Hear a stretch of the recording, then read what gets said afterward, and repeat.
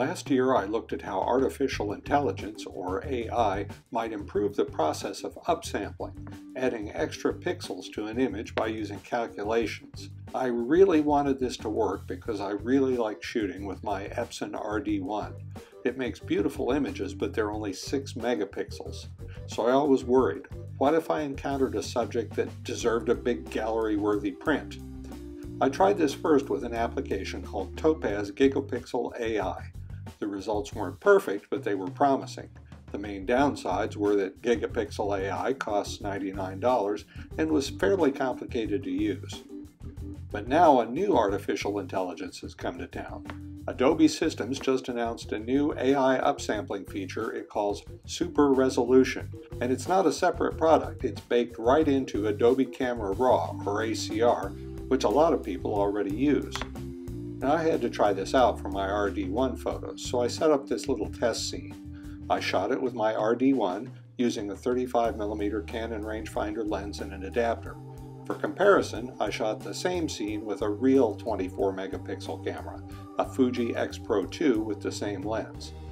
I open up my test files using Adobe Bridge, which is the easiest way to access ACR.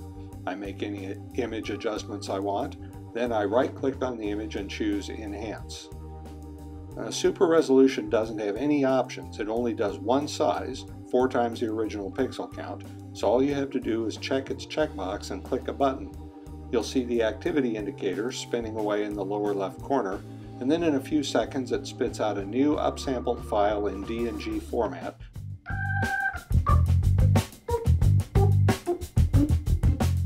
For comparison, here's a recap on using Topaz Gigapixel AI. I launch the app and then drag my original file onto it. Gigapixel AI is a lot more flexible than SuperRes, which is great for fine-tuning but takes a while to set up.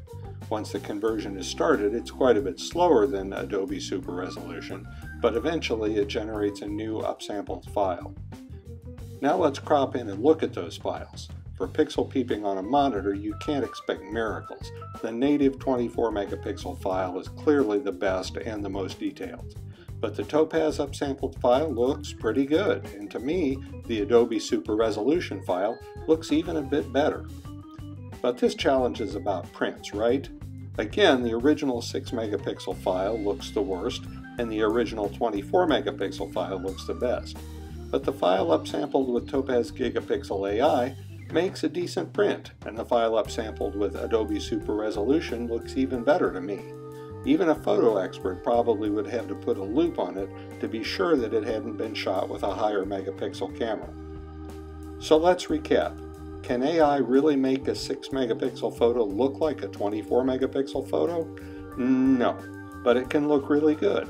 And if you're making a print, which masks the fine details, you may be able to get really satisfying results.